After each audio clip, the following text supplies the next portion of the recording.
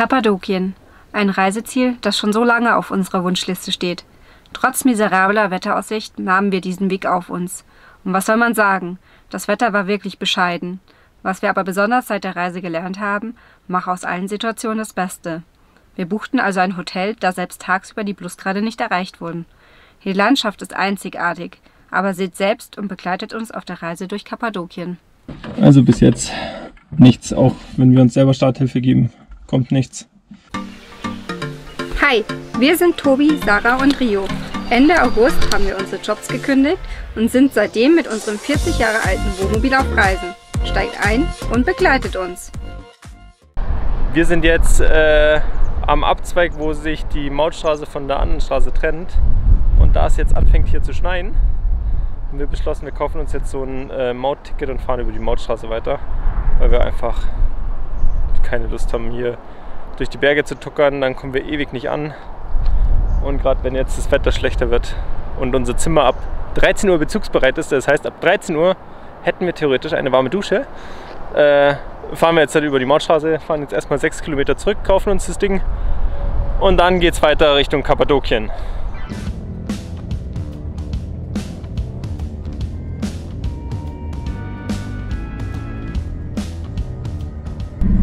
Wir sind gleich da in 13 Kilometer und ja, was soll man sagen, es ist eingeschneit.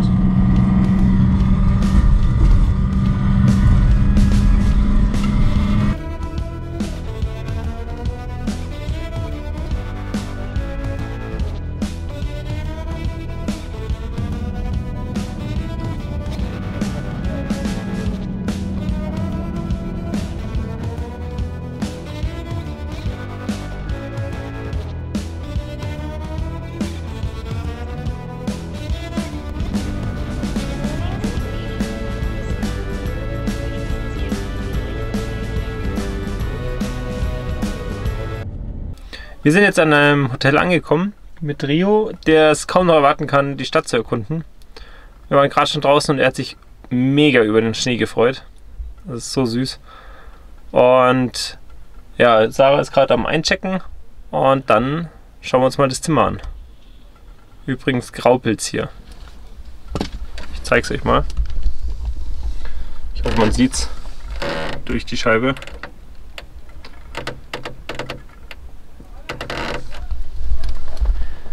Nicht so geiles Wetter. Warte, ich muss mit zusperren. Wir sind jetzt im Hotelzimmer und es ist so warm. Das sind wir gar nicht mehr gewohnt. Äh, und Rio war sehr vorsichtig beim ersten Mal in feste Wohnung rein. Das kennt er ja nicht. Und aber ich glaube, er wird den, vor allem den Teppich hier ziemlich gut finden vom äh, Bett. Und das Bett schaut auch richtig schön süß aus. Und morgen, beziehungsweise in den nächsten Tagen, kann man hier angeblich die Ballons sehen. Aber je nach äh, Wetter und Lust werden wir da eher mit dem Auto irgendwo hinfahren und das dann dort vor Ort anschauen. Tobi wurde heute überrascht. Ja. Nicht von mir. von Sarah habe ich gar nichts bekommen. Doch, ganz viel Liebe. Nee, die habe ich auch noch nicht bekommen. ähm, ich musste selbst in, zum Bäcker alleine gehen. Damit du dir was aussuchen kannst. Nee, äh, es hat schon alles gepasst. Wir schenken uns nämlich nichts mehr, sondern äh, gehen lieber zusammen mal essen oder so. Ähm, aber Ute und Björn sind ja auch hier im Hotel und die haben mir einen Schokokuchen geschenkt. Damit kann der ich halt übrigens nicht mithalten. Ziemlich geil ausschaut. Und den werden wir jetzt gleich noch zu viert essen. Zu viert, nicht zu fünft. Und wir wissen allerdings alle nicht, mit was er gefüllt ist. Der schaut gut aus und der riecht der schaut so gut. richtig gut aus. Und er wird so süß sein. Aber oh ja. Wir freuen uns drauf. Und der schaut aus wie so ein Messer, was da drin ist. Und morgen, also wir haben jetzt schon, wir waren hier auf dem Aussichtspunkt und haben uns Kappadokien schon mal so auf den ersten Eindruck angeschaut. Das ist super schön. Und morgen oder übermorgen schauen wir oder hoffen wir, dass die Ballons starten und werden dann auch mal hier um die in den äh, ja, durch das Tal Tälern, sozusagen durch das Tal durchwandern und durchwandern. so. Und wir freuen uns schon mega drauf, weil von oben ist so hammerschön. Das kann man sich kaum vorstellen. Also wir konnten es uns nicht vorstellen. Seid, seid ihr alle bereit? Ja. Nein. Oh. Oh. Oh, ich dachte, das ist knackhart, aber das ist richtig schön weich. Oh, Cool. Wow. du hast es kaputt gemacht. Okay, das ist nicht Oh nein, es versenkt sich. Das ist ein Schokoladenmesser, das muss man rausholen. Das war eigentlich zum Schneiden. Genau. Und traut ihr auch noch zu, ja. Ich bin mal gespannt, ob ich das zerstörungsfrei rauskriege. Ja, hallo. Sehr gut. Uhu. Boah, der schaut richtig Habe gut ich aus. oben drauf Natürlich darf man drauf fassen. Geburtstagskind und wag es nicht. Geh mal weg. Ja, guck mal, Ja. das ist so eine Art Boah. Sch Schoko und Schoko. Das Richtige fürs Geburtstagskind. So, wir sind jetzt äh, nochmal losgezogen und zwar gehen wir essen. Ja, mal wieder. Ja, sonst hätten wir uns jetzt nicht mehr in die Kälte gewagt. Und natürlich haben wir auch den ersten Straßenhund schon wieder getroffen. Hier, Aber der ist lieb. hier. Und ja, die Ute kommt auch mit. Björn eventuell. Na, er war Und, noch am Schlaf. und wir wissen noch gar nicht, wohin wir gehen.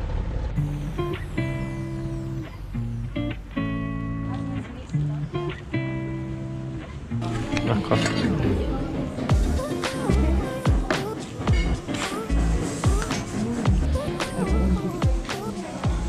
Was ist das jetzt, was ihr habt? Ein brennender Topf, wieso? Okay. Also? Ich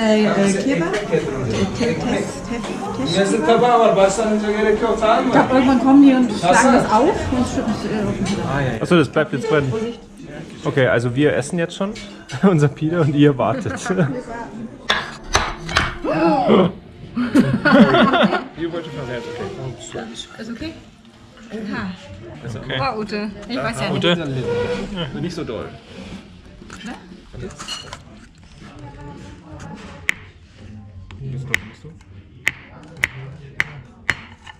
Dollar. Ich hab Angst. Ah, da geht schon kaputt.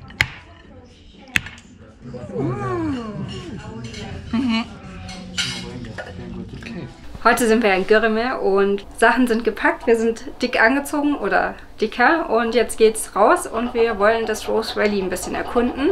Es hat heute Nacht geschneit, mal wieder oder stärker und aktuell haben wir minus 4 Grad mit Wind. Also ja, ich freue mich, es zu sehen, aber ich freue mich nicht zu frieren. Was ich super cool finde, das muss ich unbedingt noch mal sagen, wir haben dieses Zimmer gebucht und äh, oder das Hotel und es stand nichts mit Haustieren da und wir haben mal nachgefragt. Also eigentlich bin ich davon ausgegangen, dass Hunde dann eh nicht reinkommen. Und dann habe ich nachgefragt und sie ist ja, ist kein Problem, er darf halt nur nicht in öffentliche Räume und das ist ja egal. Und äh, finde ich cool, auch mit den Ausgrabungsstätten, Städten, da durfte er jetzt auch immer mit.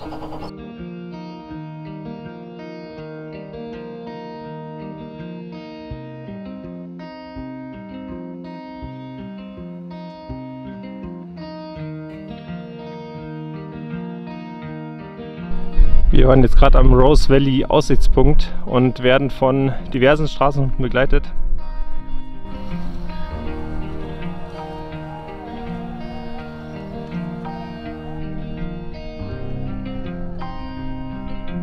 Ist ein bisschen anstrengend. Seit Görreme verfolgen uns zwei Hunde und einer ist super aufdringlich und total dominant und nervig. Äh, Und sobald wir irgendwo sind, wo Hunde sind, kommen die jetzt alle mit und wir sind hier wie so ein gefühltes äh, Rudel. Ja, und jetzt gehen wir einfach ein bisschen durch diesen Felsformationen noch hindurch und genießen die Landschaft hier. Das ist schon unbeschreiblich schön. In der Zeit, wo wir jetzt gefilmt haben, haben Ute und Björn auf Rio aufgepasst und Rio wird gerade mal wieder von dem Schwarzen bedrängt.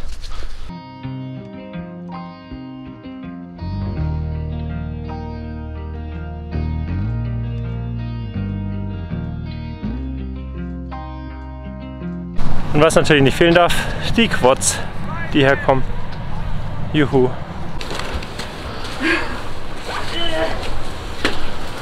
Cool.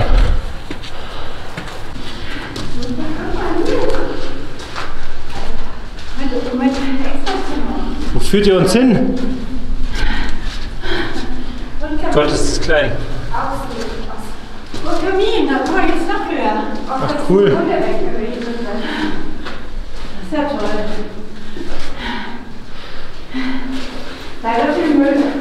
Ja, wie überall. Wie es sich gehört, warten die Hunde draußen. Hallo Buddy. Wir haben jetzt hier noch eine Höhlenwohnung gefunden. Und die sind richtig schön. weil man kann überall reingehen. Die Höhlenwohnungen sind richtig cool. Oder die ganze Gegend ist richtig cool, aber die, der Tourismus, das ist so krass. Wir sind jetzt in einer krassen Nebensaison hier und es ist trotzdem so voll.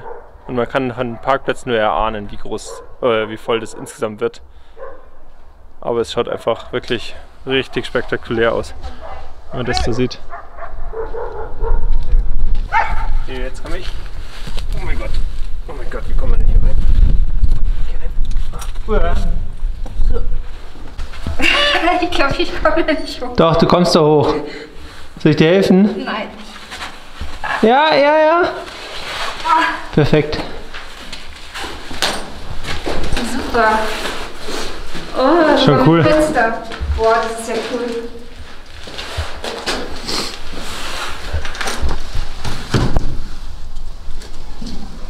Ähm, gerade sind zwei Reiter gekommen und der schwarze Hund, der uns schon die ganze Zeit oder bei uns sehr aufdringlich war, äh, ist jetzt die Pferde angegangen und die eine Reiterin, oder war das, ja, ist ja egal, ähm, hat jetzt eine Leine drum gemacht und hat den Hund mitgenommen. Ja, und Das heißt, also davor hat Björn noch probiert, den zwei Reitern zu helfen und Ja. wir waren noch zu weit weg.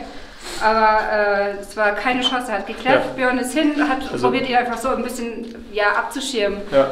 Also wir haben vorher ja auch versucht, ihn irgendwie äh, Ria, schau mal her. ja, zu verdrängen und klarzumachen, dass er weg soll, aber Super. keine Chance. Du machst es Und jetzt äh, haben wir dann zumindest die Ruhe. Und ich denke mal, für die Pferde ist es wahrscheinlich auch das Beste. Weil vorher sah es auch schon so aus, als ob er andere Pferde äh, also auf die zustürmen will. Da hat es Ute geschafft, den noch abzuhalten. Aber ja, Ja, das geht gar nicht. Das, ich glaube, jetzt kann man den Ausflug auch mehr genießen. Jetzt Ja. ist nur noch die Mutter hier mit dem Welpen, die hier gerade reingeschaut hat. die ist super nett. Die ist super lieb und der Welpe ist auch super lieb. Wo ist sie? Da ist sie. Bisher waren jetzt alle ähm, ja, Formationen spitz und da hinten sind sie jetzt total rund und das schaut total schön aus, weil der Schnee so drauf liegen bleibt.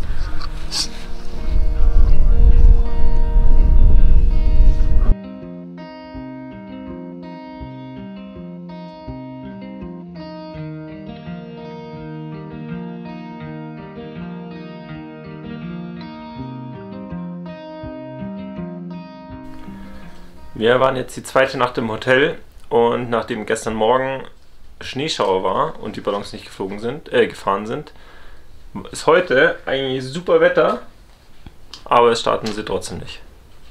Jetzt hoffen wir noch auf morgen. Heute haben wir super viel vor. Wir machen Love Valley, ein Freilichtmuseum und eine Stadt im Untergrund.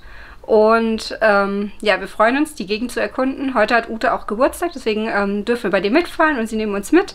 Und ja, wir sind gespannt, was wir heute alles entdecken werden in Kappadokien.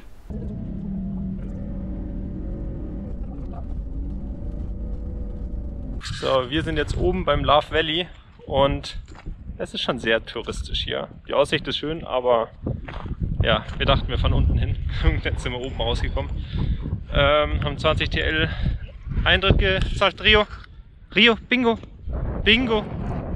Äh, soll ich musste Bingo sagen, weil ihr Pferde noch nicht so gut kennt. Und die gern alles, was er nicht kennt, kennenlernen. Wie ein guter Herdenschutzhund das macht. Und ja, jetzt bin ich mal gespannt, ob wir nachher nochmal runterfahren oder ob es dann direkt weitergeht.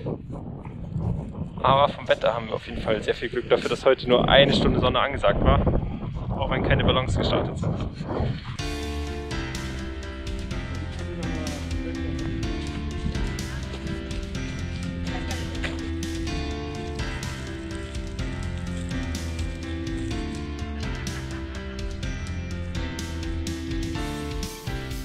Wir sind hier im Love Valley und gehen jetzt hier durch das Tal durch.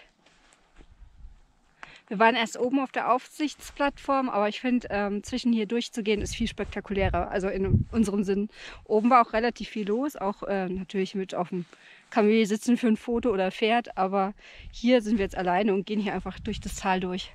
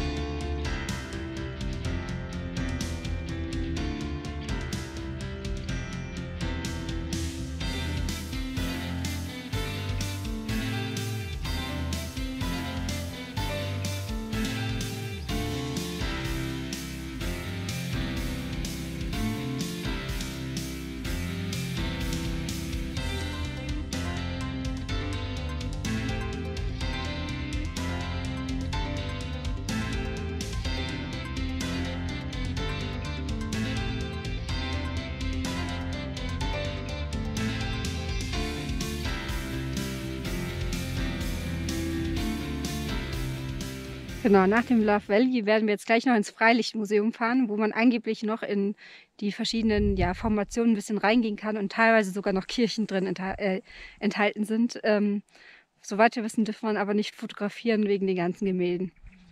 Hier kannst du Ria aber suchen lassen, wir sind ein paar rausgefallen. Rio, such. Such. Ein paar? Das ist ein halbes Essen bei ihm. Rio, such. Alles voll. Boah, Alter. Such, Ostern. such, such. Such. Selbst bei deinem Schuh war da eben noch was. Oh ja.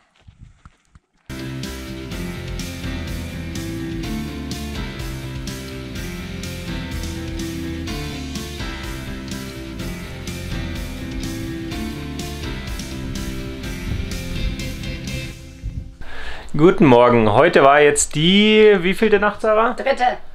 Im Hotel und wir haben schon wieder keine Ballons gesehen. Ähm, wir haben jetzt eine Internetseite äh, bekommen, wo man nachschauen kann, ob die immer fliegen. Zu eurer Info, die heißt SHM und die betrifft auch das Bi Gebiet Pamukkale, Fethiye, noch was und eben Kappadokien. Genau, das ist dann einfach auf der Webseite den entsprechenden Bereich anklicken und für den ihr es wissen wollt. Und dann steht da mit Flaggen auf Englisch, ob sie fliegen oder nicht. Ähm, es war bis kurz vor halb sieben heute Morgen auf Standby und dann ist er auf Rot umgesprungen und äh, wird alles abgesagt. Jetzt hoffen wir, dass, also heute hm, verlassen wir das Hotel und stellen uns jetzt mit dem Auto irgendwo hier in die Gegend. Und wir hoffen natürlich, dass dann zumindest morgen die Ballons fliegen, weil in den nächsten Tagen müssen wir auf jeden Fall weiter, weil äh, wir in Bulgarien zwei Freunde von uns treffen. Und deshalb haben wir jetzt gar nicht mehr so viel Zeit hier und hoffen natürlich, dass wir die Ballons sehen. Weil das ist ja eigentlich das Highlight hier in Kappadokien. Neben den ganzen anderen Highlights, die wir schon gesehen haben. Also. Und im Gegensatz zum Rio ist uns das nicht alles egal. Der Rio, der chillt lieber.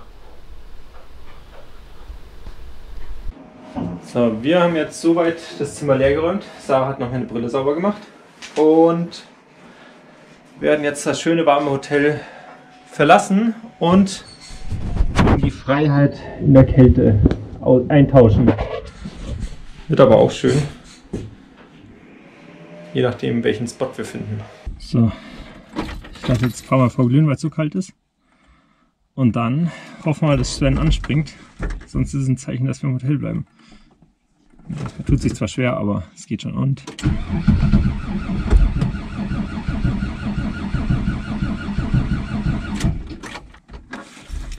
der erste Versuch war schon mal nichts.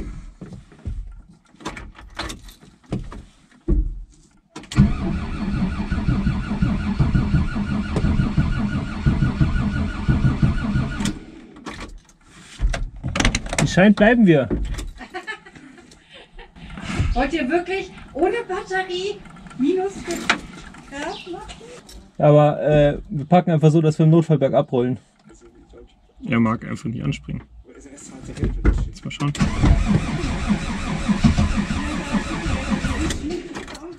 Also bis jetzt nichts, auch wenn wir uns selber Starthilfe geben, kommt nichts. Jetzt machen wir es über Björn und hoffen, dass wir da mehr Saft kriegen und es ausreicht.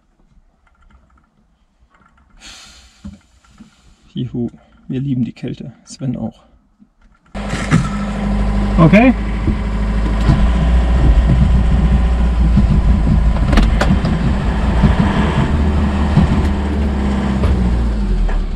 Hm. Okay, dann geht's nochmal. Also versuchen. Sollen wir es nochmal probieren? Okay. Nee. Okay.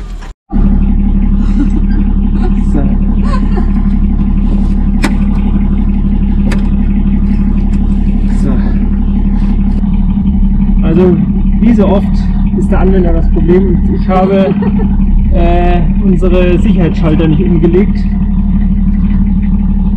Und wir können sagen, der Diebstahlschutz funktioniert. Kaum hat man alles umgelegt und fahrfett gemacht, geht's. Aber jetzt geht's los.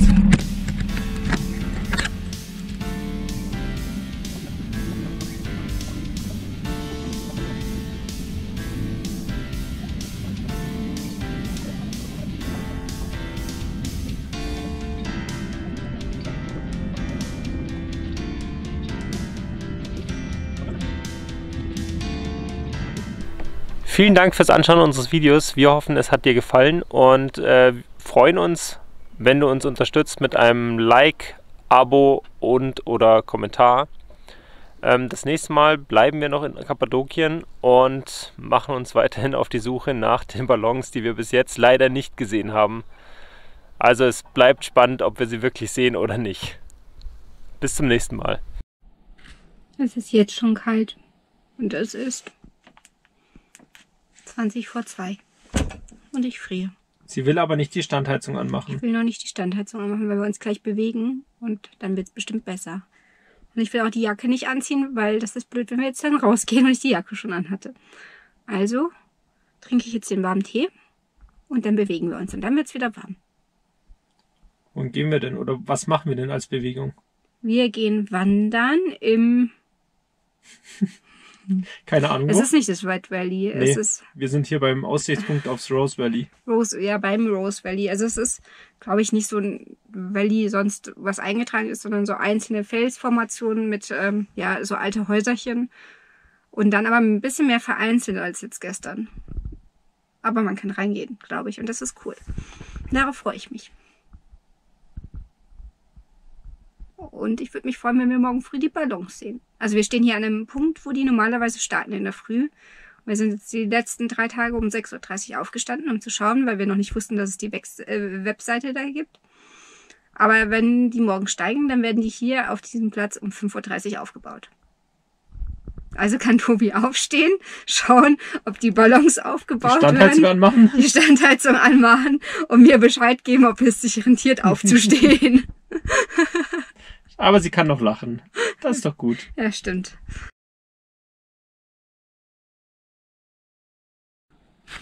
Schauen, ob ich eine Schneeflocke erwische. Nee. Schade. Hier kommt jetzt der Wind wieder. Ja, wir sind jetzt. Rio, hierher! Na toll. Die Linse ist verschwommen.